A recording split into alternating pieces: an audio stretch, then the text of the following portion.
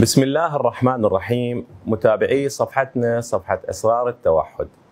هذه محاضرة عن أهمية التحاليل المختبرية في تشخيص وعلاج أطفال التوحد. حقيقة في كثير من الأخوة اللي يزوروننا للعيادة أحيانا نواجه مشكلة في إقناع الأهالي بضرورة التحاليل للمصابين بطيف التوحد أو المصابين بالأمراض النمائية عامة. في هذه المحاضرة راح نسلط الضوء على أهمية تلك التحاليل ودورها في تعجيل الشفاء وفي إعطاء الأدلة للطبيب من أجل تسريع وتيرة الشفاء من هذا المرض. فرح نتكلم الآن أول ما نتكلم الحقيقة العلم تغير كثيرا في العشر سنوات الأخيرة في قضية أسباب التوحد. آه الأسباب آه قبل سنين كانت غامضة آه يعني ترتكز كثيرا على موضوع الجينات والموروث الجيني وبوجود يعني طفرات كثيرة في العلم بالعشر سنوات الأخيرة ركز العلم على أن التوحد هو مالتي فاكتوريال يعني له أسباب منوعة. وغالبا تلك الأسباب هي عبارة عن أسباب تؤثر على صحة الجسم بصورة عامة ولأن الدماغ والجهاز العصبي المركزي يعتبر من الأجزاء الحساسة في الجسم فإنه أكثر وأول المتضررين في انهيار الصحة العامة للطفل المصاب بالتوحد. لا شك أن هناك أسباب أخرى جينية ولكن هناك تراكب كبير بين أسباب لها علاقة بالجينات وأسباب لها علاقة بمشاكل الحمل وصحة الأم أثناء الحمل حتى تشمل الصحة النفسية ثم أسباب لها علاقة بالولادة ومشاكل الولادة وتعسر الولادة ثم أسباب لها علاقة بالرضاعة وطعام الطفل بالسنوات الأخرى ثم تتوالى هكذا حتى تصل إلى مجموعة من الأسباب التراكمية. فلذلك كثير من الأطفال قد يبدون بالسنة الأولى أو الثانية على أنهم أطفال طبيعيين. لكن ما ينتابهم مرض إضافي بالإضافة للتراكم السببي الأول. مثلا يصابون بإصابة بكتيرية شديدة أو بنوبة إسهال شديد أو خوف مفاجئ أو أي مشكلة تزيد على الصحة على تزيد على الطين وبلة. فيتراجع الطفل في الكلمات اللي كان قد حفظها بالسنتين الأولى. ف في لذلك لسبب ترابط الصحة العامة مع طيف التوحد فإن التحاليل اللي نحاول أن نسويها للأطفال المصابين بطيف التوحد يجب أن تكون منوعة للبحث عن جميع الأسباب اللي تشترك مع بعض في أن تصيب هذا الطفل باضطرابات طيف التوحد أو فرط الحركة أو صعوبات التعلم وغيرها من الأمراض التي تخص الجهاز العصبي المركزي. بالنسبة للأنواع التحاليل حقيقه عندما يفكر الطبيب في البحث عن أسباب تراجع صحة هذا الطفل وإصابته بطيف التوحد هناك مجموعة أساسية يفعلها لجميع المصابين بطيف التوحد. إحنا الآن ما راح ندخل في تفاصيل كل تلك التحاليل ولكن راح نذكرها على شكل مجاميع. المجموعة المهمة الأولى اللي يسويها الطبيب هي معرفة نسبة الفيتامينات في الدم. يعني الفيتامينات هو الفيتامين D، ال folic acid، ال B 12 وغيرها من العناصر اللي هي الغذائية المهمة مثل الزنك والمغنيسيوم والحديد وغيرها. فإذا معرفتنا لمستويات الفيتامينات في الدم جدا مهمة لأننا سنعدل أي نقص فيها وحيث كنا نعرف أنه كثير من تلك الفيتامينات تدخل كثيرا في الأيض الغذاء اليومي وخاصة وظائف الجهاز العصبي المركزي. فهذا السبب أو المجموعة الأولى.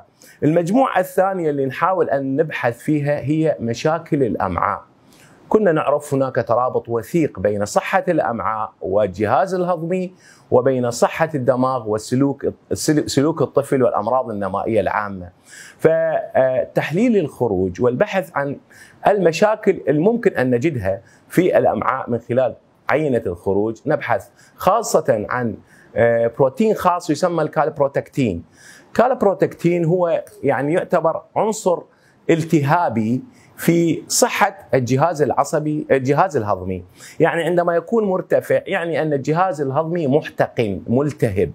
يعني هناك مشكلة حقيقية في الأمعاء فهذا يعطي الطبيب الدليل على التركيز على صحة الجهاز الهضمي لمحاولة مشافاته وإعفائه وإرجاعه للهضم الطبيعي وإعادة التئام الجروح الموجودة في الجهاز الهضمي لمنع تسرب السموم والأطعمة الغير مهضومة إلى الدم وبالتالي ما يحصل من التهابات في صحة الجسم العامة.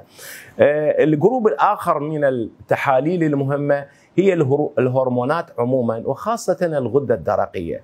حقيقة آه، كثير من الأطفال المصابين بطيف التوحد يمكن أن تعرف كيف أن وضعهم الصحي سيء من خلال تحاليل الغدة الدرقية. طبعا تحاليل الغدة الدرقية قد تعطيك أن الغدة الدرقية كانت متوقفة لفترة طويلة وهذا طبعا مشكلة كبيرة المفروض يتم معرفتها في السنة الأولى أو بالحقيقة بالأيام الأولى من الحياة لأن توقف الغدة الدرقية غالبا يؤدي إلى تخلف عقلي ويؤدي إلى مرض معروف والآن أعتقد في آه، نظام الغربلة الموجود في المراكز الصحية هناك يعني تحليل من خلال TSH معرفة الغدة الدرقية ونشاطها فيجب تشخيصها مبكرا، لكن ما نستفيد منه إحنا في متابعتنا للاطفال المصابين بطيف التوحد لنعرف نشاط الغدة الدرقية، فإذا كانت مضغوطة يعني أن ال TSH مرتفع حتى لو لم يكن قد عبر المستويات العليا بالنسبة له لكن يعطي هناك ضغط على الغدة الدرقية.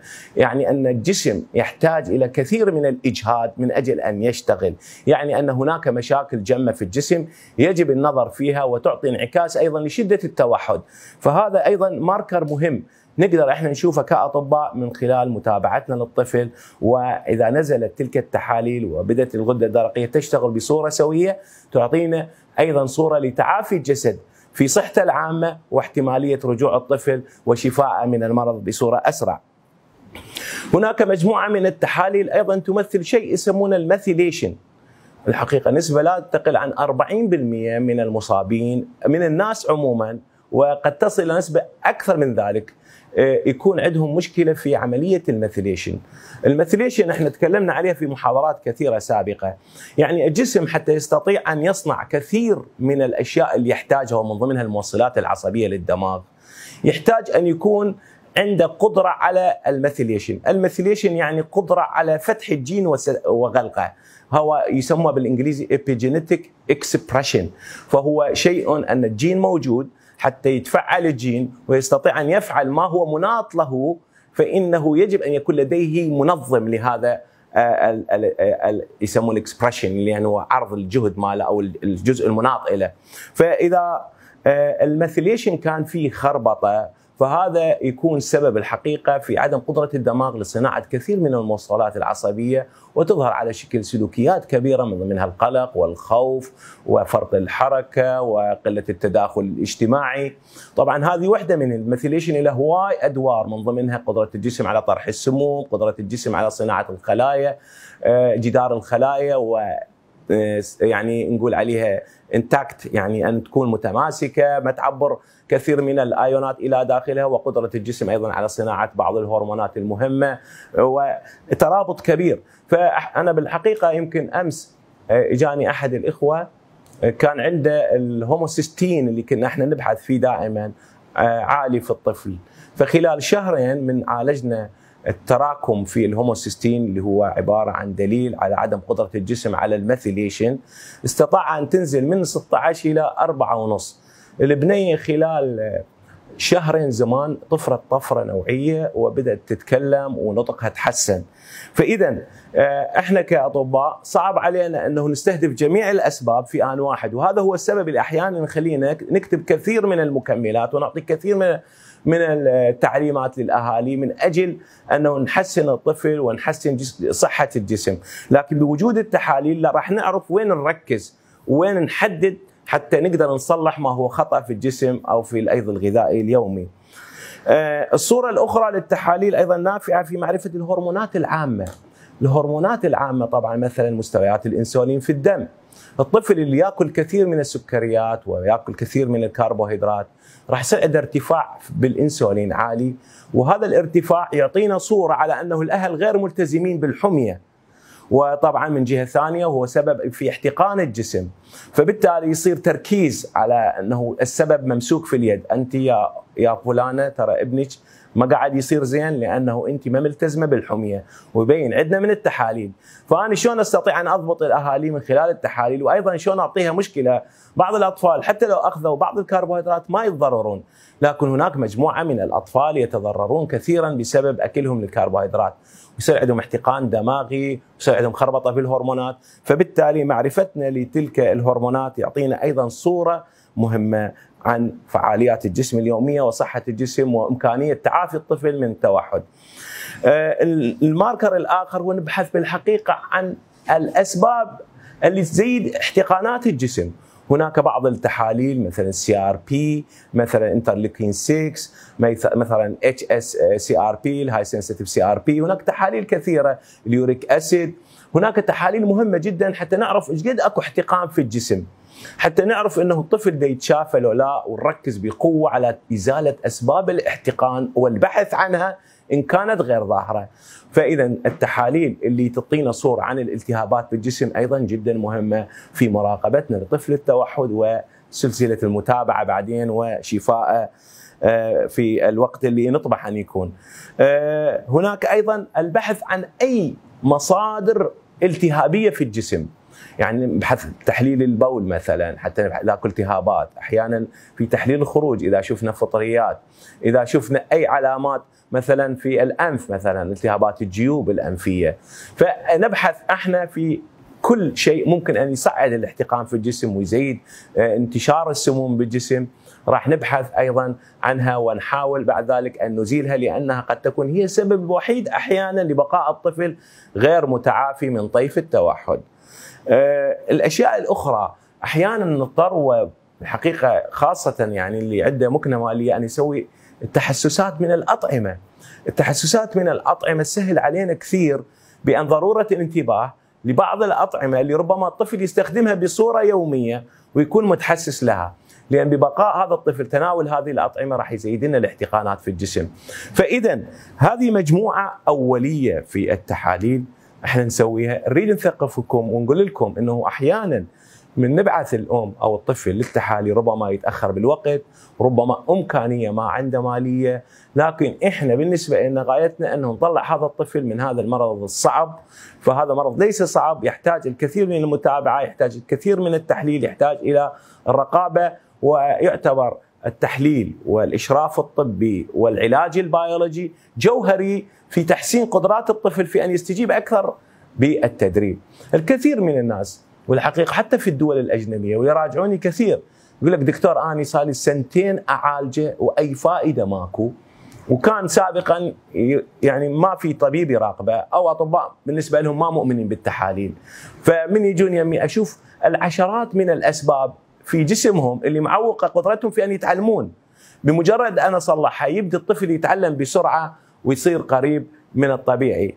طبعا آه هذا لا يغلي لا لا يلغي دور التدريب، التدريب يبقى عنصر أساسي بس خلينا نعرف أن الدماغ هو عبارة عن هاردوير يعني مثل الكمبيوتر، إذا لم يكن سليما لا يستطيع أن يجمع المعلومة ويحتفظ بها، ولا يستطيع أن يستفيد من المعلومة حتى ينفذها. فإذا أني طفلي لديه كثير من النقوصات، لديه كثير من التراكمات السمية، لديه احتقانات، التدريب بالنسبة لي يكون كلش بطيء.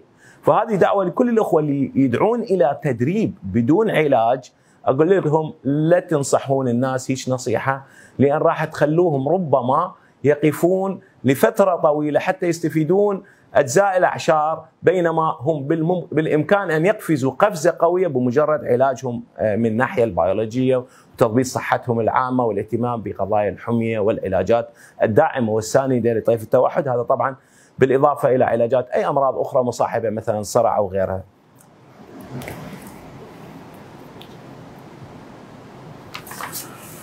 بالنسبة للتحاليل طبعا آه، أنا تكلمت مع المختبرات وخاصة المختبر الجنبي كلمت على إنه آه، لأنه مو كل الناس عندهم مكنة مالية إنه نسوي مجموعة يعني هناك تحاليل ضروري يسويها أي طفل يعني ما أقدر أنا أعالج طفل بدون ما أعرف كم الفيتامين دي مالته أو كم الفوليك أسيد عنده أو كم نسبة الدم عنده أو تحاليل الخروج الأساسي عنده. لكن اللي اللي عنده مكنة مالية واللي حقيقة يريد يختصر له الزمن لازم يروح لل group الثاني اللي بيه كثير من التحاليل اللي شوية أعقد من ذلك يعني مثلا ال homocysteine وال calprotectin والتحاليل اللي هي ربما شاملة أيضا الإنسولين. أني كل ما يكون الطفل عنده تحاليل أكثر أني أأمن بأنه قاعد أشتغل بصورة سوية تجاه الهدف. لكنه بعض الأخوة بسبب ربما مكنتهم المالية القليلة أو ربما عجزهم أو كسلهم أو عدم تقديرهم لأهمية التحاليل المختبرية. يعني يبقون بدون تحاليل أو ما يكرروها وهم بحاجة لها فنظل إحنا نضرب باتجاه معين ويطلع عندنا سبب ثاني كان من الممكن أنه من البداية أنه نعالجه حتى نكسب زمن. فأرجو منكم أن تعذرونا عندما نلح على التحاليل ونقول لكم أنه التحاليل جدا مهمة خاصة للطبيب اللي داخل في أعماق هذه التحاليل من أجل أنه يصحح صحة هذا الطفل، فهي تحتاج ليست فقط الحقيقة علم بالتوحد إنما يجب أن يكون الطبيب اللي يدير هذه القصة يجب أن يكون عنده يعني تعمق في الصحة العامة وفي ما يسمى يعني ال neuroscience وأيضا ما يسمى الطب الشمولي يعني بالرؤية الشاملة ينظر. المرض ليس مرض جهاز العصبي فقط. وإن كانت كل الأمراض هكذا لكن التوحد هكذا. المرض ليس فقط مرض سلوكي إنه مرض بيولوجي. هذه الرؤية تغير كثير من التعامل مع التحاليل وأهميتها بالنسبة للطبيب والاستفادة منها من أجل دفع عجلة التحسن عند الطفل. طبعا هناك تحاليل متخصصة يعني إحنا مثلا بعض التحاليل مثلا السموم في الجسم غالبا السموم في الجسم ما متوفرة بكل مكان وقد تكون غالية أحيانا إحنا نسويها عندما يكون الطفل معاند في الاستجابة وعندما نسوي تحاليل عامة ويتعالج ويوقف في مناطق معينة ويصير بطيء جدا في التعافي نحتاج تلك التحاليل اللي هي مو ستاندر أو مو دائما تنطلب. تحاليل السموم مثلا تحاليل معرفة إذا كانت الفطريات في الأمعاء فيها ضرر أم لا؟ يعني ممكن نسوي لها تحاليل عن طريق البول حتى نشوف الفطريات في الأمعاء فيها ضرر أم لا. فهناك تحاليل يعني مثلا تعرف قلنا ال methylation مثلا عرفنا إنه إذا أكو خلل في ال methylation هناك تحاليل نعرف فيها التحسسات الأطعمة المتحسسة. كلها عندما نعبر إلى هذه التحاليل راح نحتاج أرقام عالية. أني الحقيقة كل اللي أخوة اللي اتعامل معهم وصيتهم بقدر ما يستطيعون أنه يوفرون تلك التحاليل بس العدد الحقيقة اللي عنده هذه التحاليل عدد جدا محدود وغالبا ما يراجع المريض ويكون عنده نقصات في التحاليل واضطر أنه يعاد التحاليل، لذلك المختبر يسوي التحاليل يجب أن يكون مختبر ملم بكل تلك التحاليل وموفرها وعنده طلب عليها لأنه هي تحاليل أحيانا تكون غالية وإذا ما عليه استهلاك ربما المختبر لا يستطيع أن يديم وتيرة الاستهلاك وربما يخسر كثيرا وأيضا تزيد كلفة التحليل. آه هذه صورة عن بالنسبة لأهمية التحاليل تكلمنا عليها. اللي لازم نعرفه أنه بعض الإخوة أثناء التعليقات بالنسبة للمحاضرات أو البوستات يكون أسلوبهم كلش يعني غير لائق. نصيحتي لهم يعني أنا من أشوف تعليق غير لائق طبيعي أنه أحضره. التعليق غير لائق مثلا يعني مثلا نقول معلومة. أنتم كلكم متابعين وأعداد كبيرة من صرنا الآن في هذه الصفحة. تعرفون إنه أنا المعلومة حيل أدخل فيها واجدها في أصل البحوث. يلا أكتبها. فالبعض يتكلم بصيغة مثلا من أين لك هذا الكلام مثلا؟ أو دكتور شو إحنا ما سامعين هيك كلام؟ يعني أكو صيغ أطيب. أرجو من الإخوة أنه يسألوا بطريقة لائقة. حتى اني إلي واهس أجاوبهم. تعرفون يعني يجب أنه الصفحة تحترم. وأنا أعتذر من كل الاخوه ربما بدون قصد يعني هم أسلوبهم هيك. بل مضطر أحذف هذه التعليقات أو أغلق أو أحضر الشخص اللي يتكلم بصورة. أرجو من الاخوه وإن كانوا بعضهم يجوز بدون قصد أن يستخدموا أساليب لائقة أثناء اعتراضاتهم على ما يقال بصورة علمية. وأي شيء موجود أنا أقول أنا مستعد لأي شخص أنه أعطيه الأصول العلمية وتأكدوا بأنه أي معلومة ركيكة أنا ما أقولها هنا واتحمل مسؤوليتها، كل معلومة أقولها لها مصادرها، فأرجو من الإخوة أن ينتبهون في تعليقاتهم بالمستقبل. أتمنى أكون فدتكم ونشوفكم إن شاء الله في محاضرة جديدة، تحياتي. وشاركوا هذا الفيديو في أكثر مكان ممكن لمصلحة أطفال التوحد ولزيادة ثقافة حتى المهنيين في أهمية التحاليل المرضية لأطفال التوحد، شكرا.